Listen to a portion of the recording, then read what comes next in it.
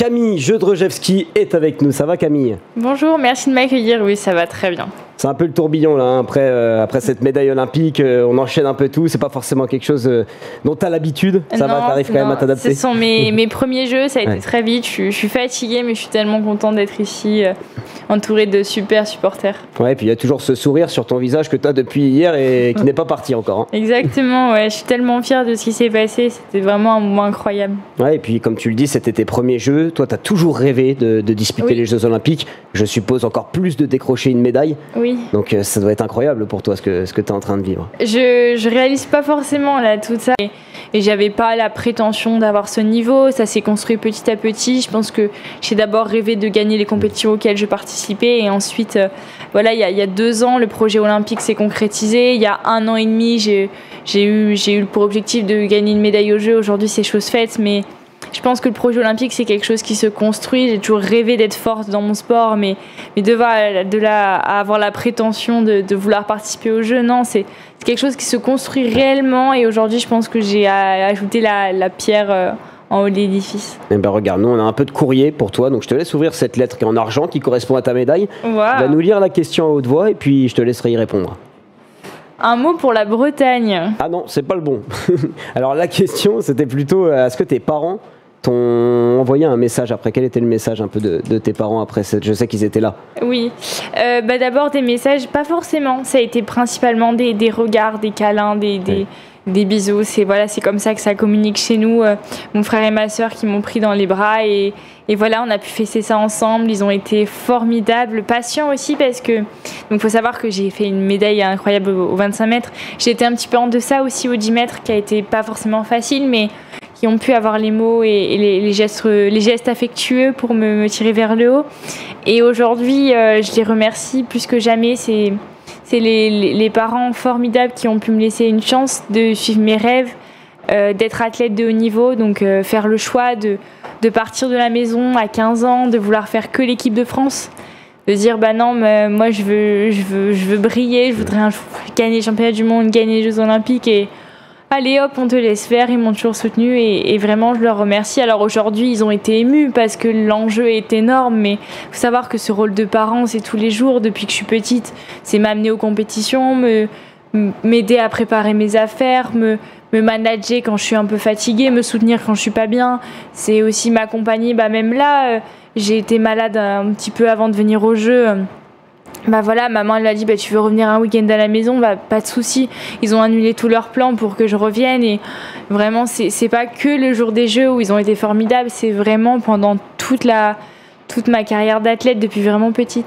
Et puis je crois qu'en plus, ils viennent pas souvent te voir sur des compétitions internationales. Pas du tout. Donc c'est quand même quelque chose aussi, ça a dû les, les ravir de te voir décrocher cette médaille d'argent. Mais oui, la spécificité de, de ma carrière de tireuse, c'est de faire principalement des compétitions à travers le monde. Donc cette année, on a vu, j'ai fait une médaille à Rio, une médaille à Bakou, c'est des compétitions qui sont très lointaines. Euh, mes parents, voilà, n'ont pas, n'ont pas le forcément euh, toujours le, temps ni l'énergie et financièrement ça représente beaucoup d'argent. Et bon voilà et là aujourd'hui ça a été l'opportunité en France les jeux à Châteauroux. Donc réserver les billets prendre un, logement en famille avec mon frère et ma sœur. Tout le monde était là pour me supporter. Ça a été pour moi euh, des jeux des jeux réussis dès le premier jour. Oui, en plus, la finale était quand même très serrée face à la coréenne Jin Yang. Il y a eu ce tir de, de barrage. Comment tu, comment tu le vis, toi? Parce que tu es à Châteauroux, il y a énormément d'ambiance, ça c'est quelque chose dont tu n'as pas l'habitude aussi. Est-ce que tu arrives à te servir de cette ambiance pour euh, bah, être encore meilleur ou est-ce que parfois ça te mettait aussi un peu de pression, toi, Camille? Euh, bah, L'ambiance qui, a été, qui a été pendant le, le tir 25 mètres aux Jeux Olympiques, elle a été formidable. Euh, elle m'a aidé à me dépasser, donc là on l'a vu en finale, mais dès la qualification, donc euh, sur les, tirs de, finale, euh, ça a été encore plus intense, je crois. Je crois que tout le monde a, adoré l'ambiance, donc ça a donné de la ferveur. J'ai l'impression que c'était, vous savez, ça a monté crescendo. Peut-être la première série un peu timide, plus ça avance, plus ça a été intense. Et, et voilà, je remercie tout le monde de m'avoir soutenu parce que bah je dirais que les, adversaires étaient redoutables. C'est aussi ce qui m'a tiré vers le haut, bien sûr, parce que l'esprit de compétition, quand les adversaires sont forts, ben moi je me dépasse encore plus et tout le monde est tiré vers le haut. Mais les adversaires forts, le public fort, mon entraîneur qui me soutient, je me sentais, bah, j'étais chez moi aussi à Châteauroux parce qu'on a fait tellement de stages, la fédération nous a nous a donné un peu les libres accès à Châteauroux. On y a été une fois par mois de façon intense. Et, voilà, j'avais tout pour réussir aujourd'hui.